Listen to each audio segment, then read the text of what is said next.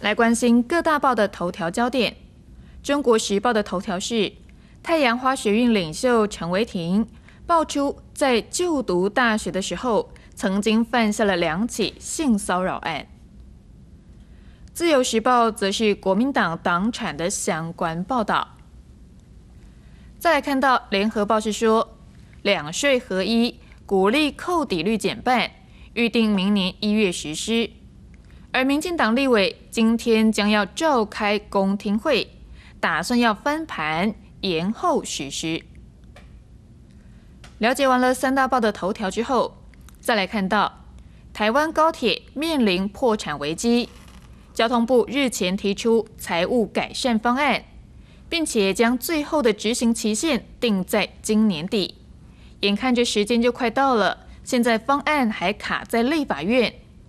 高铁局已经着手准备，明年高铁破产后，政府的接管手续，秋估政府可能得花七千亿元。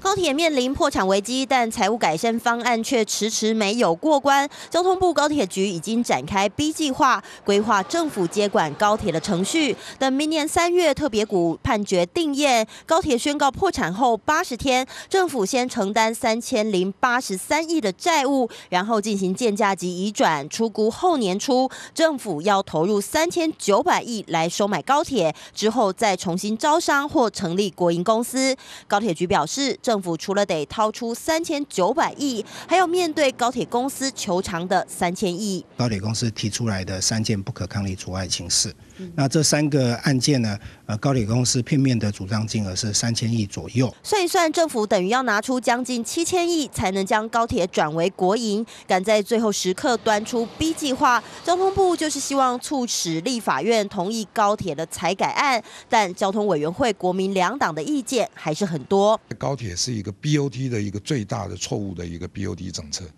所以借由这个机会，其实想办法把它接收回来。四十年的特许期呢，是一个庞大的利益，觉得我们。没有办法接受。也有立委坚持高铁应该要先降价，再谈财务改革。高铁到底会依交通部的规划进入财务改革程序，或是先宣告破产由政府来接收？最后一周还是充满变数。记者林正武、张国良台北报道。